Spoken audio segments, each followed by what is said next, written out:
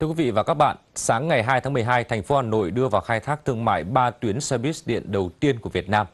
Mạng lưới xe buýt sinh thái này sẽ được kết nối với mạng lưới vận tải hành khách công cộng của thủ đô nhằm góp phần giảm phát thải khí nhà kính trong giao thông, mang đến những trải nghiệm xanh tiện nghi cho người dân. Theo đó thì ba tuyến buýt điện đầu tiên là tuyến E03, khu đô thị Ocean Park Hàm Nghi, tuyến E05 Long Biên khu đô thị Smart City và tuyến E01 bến xe Mỹ Đình, khu đô thị Ocean Park. Sẽ được thiết kế với sức chuyên chở 68 chỗ, trong đó có 26 ghế ngồi, còn lại là vị trí đứng và khu vực thiết kế riêng cho người khuyết tật, thai phụ. Tần suất hoạt động của các tuyến từ 15 20 phút một chuyến, hoạt động từ 5 giờ sáng đến 21 giờ hàng ngày. Các tuyến của Vinbus đều nằm trong hệ thống giao thông công cộng chung của thành phố kết nối khu vực đông dân cư và các điểm thu hút như trường học, bến xe, khu đô thị, khu vui chơi giải trí và điểm trung chuyển xe buýt lớn cũng như là tuyến đường sắt đô thị 2A. Giá vé như các tuyến buýt truyền thống, CNG đã áp dụng trên địa bàn thành phố với mức từ 7.000 cho đến 9.000 đồng một lượt. Giá vé tháng đi trên một tuyến là 100.000 đồng một vé một tháng. Giá vé tháng đi liên tuyến 200.000 đồng một vé một tháng. Người già trên 60 tuổi, trẻ em dưới 6 tuổi sẽ được miễn phí sử dụng. Dự kiến năm 2022, Vingroup sẽ tiếp tục mở thêm các tuyến xe buýt điện để kết nối với hệ thống vận tải hành khách công cộng chung của Hà Nội để phục vụ người dân. Thưa quý vị, dự án mở rộng quốc lộ 1 thuộc huyện Phú Xuyên, Hà Nội do Ban Quản lý Dự án Xây dựng huyện Phú Xuyên làm chủ đầu tư có tổng mức đầu tư gần 160 tỷ đồng và được thực hiện trong giai đoạn từ năm 2019 đến năm 2020. Tuy nhiên đến nay dự án mới chỉ hoàn thành 2 phần 3 tiến độ. Và vừa qua thì sự ùn tắc, ô nhiễm môi trường, thi công mất an toàn của các nhà thầu thi công tuyến đường là những gì mà nhiều người dân đã phản ánh với phóng viên VTC14 trong suốt thời gian thi công dự án. Anh Tuyến, một hộ dân sống ngay mặt đường quốc lộ 1, nơi mà dự án đang thi công cho biết, từ khi dự án được khởi công, cũng là lúc cuộc sống của gia đình anh bị đảo lộn hoàn toàn. Bụi bặm quanh năm khiến sức khỏe bị ảnh hưởng, cho dù anh đã làm mọi cách để ngăn bụi. Quan trọng nhất là bụi, bụi bụi rất nhiều, bụi cả lên tầng 3 luôn và gây ảnh hưởng đặc biệt là đến các trẻ nhỏ. Khi người ta thi công ấy thì những người đi đường là hay bị trèo lên cống và nó cống nó cao ra là nó hay bị ngã, nhiều nhiều vụ tai nạn xảy ra. Đáng lo ngại hơn, không chỉ dừng lại ở việc thi công cầu thả, vượt vãi, mà điều anh lo ngại, mặt đường được đôn lên cao hơn so với nhà anh từ 20 đến 30 cm. Và hiện tại, nhà thầu thi công đã bịt hết các lỗ thoát nước. Khi mưa lớn, gia đình anh sẽ phải hứng chịu tình cảnh ngập lụt. Bây giờ mình lo nhất là bây giờ nếu mà có trận mưa to nó ngập không có chỗ lối thoát nước. Bởi vì sao? Bởi vì không có chỗ thoát nước nên là nó ngập hết. Đấy, rồi là cống thì bị nấp hết rồi. Nên ra là thoát ở đâu? Hơn nữa là cái vỉa Ờ, đất Ờ, bê tông này chưa chưa đường giải thảm chưa hết đâm ra là nó còn rất là nhiều bụi. Đây cũng là tình cảnh chung của rất nhiều hộ dân sinh sống ven quốc lộ 1. Theo ghi nhận, hiện tại nhà thầu của dự án đã thảm mặt đường để giảm bớt bụi do quá trình thi công, song lại rất chấp vá, tiềm ẩn tai nạn giao thông, ô nhiễm. Theo đội thanh tra giao thông vận tải huyện Phú Xuyên, đơn vị này đã xử lý, xử phạt nhiều lần với đơn vị nhà thầu về việc thi công mất an toàn giao thông và không đúng giấy phép xây dựng do Sở Giao thông Vận tải cấp. Vừa thi công vừa khai thác, cho nên là không thể à, làm à, ngay được.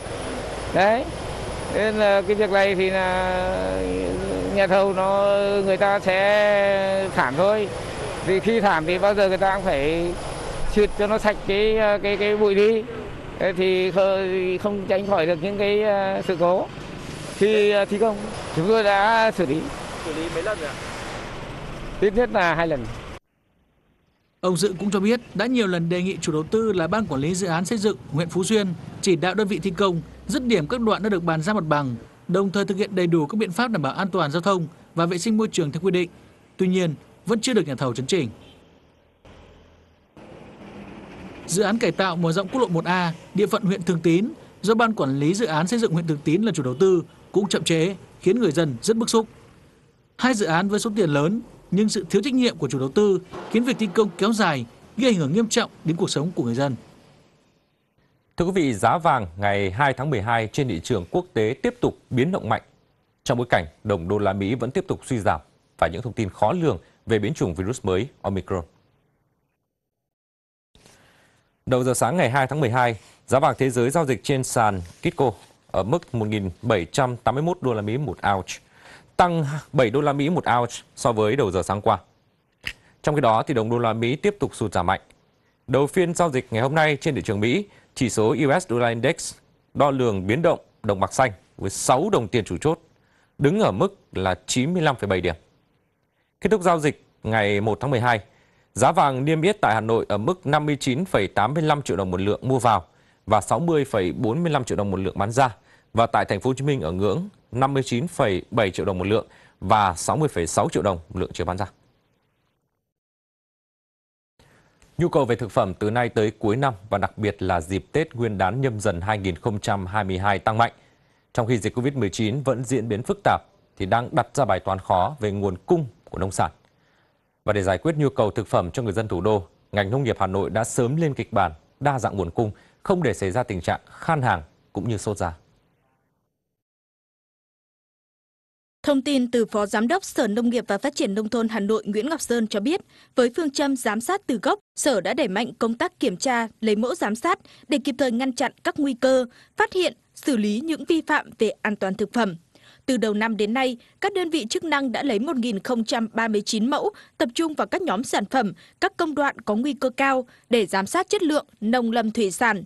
Kết quả cho thấy 94,4% mẫu đạt yêu cầu, 5,6% mẫu vi phạm tiêu chí an toàn thực phẩm, giảm 7,7% so với cùng kỳ năm 2020. Bên cạnh đó, ngành nông nghiệp đã triển khai một số giải pháp khuyến khích hỗ trợ các cơ sở sản xuất, xây dựng, áp dụng các chương trình quản lý chất lượng tiên tiến theo chuẩn mực quốc tế trong sản xuất, chế biến thực phẩm như GAP, HACCP, ISO 22000, qua đó nâng cao chất lượng giá trị nông sản và đảm bảo nguồn cung cấp thực phẩm an toàn cho thị trường.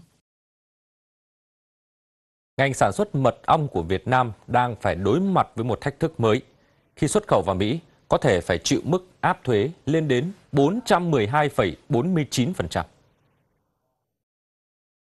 Cụ thể, mức thuế chung dành cho tất cả doanh nghiệp xuất khẩu mật ong của Việt Nam là 412,49%. Mức thuế này cao hơn gấp đôi so với mức thuế mà Hiệp hội các nhà sản xuất mật ong Mỹ đề xuất ban đầu là 207%. Cùng với Việt Nam, bốn nước khác bao gồm Brazil, Ấn Độ, Ukraine, Argentina cũng nằm trong danh sách các nước bị áp thuế xuất khẩu mật ong lần này. Trong đó mật ong của Việt Nam thì lại bị áp thuế cao nhất. Tuy đây mới là phán quyết sơ bộ, nhưng quyết định trên của Bộ Thương mại Mỹ đã gây ảnh hưởng nghiêm trọng tới các doanh nghiệp Mỹ xuất khẩu mật ong vào thị trường Mỹ, cũng như là những lao động đang hoạt động trong lĩnh vực nuôi ong tại Việt Nam.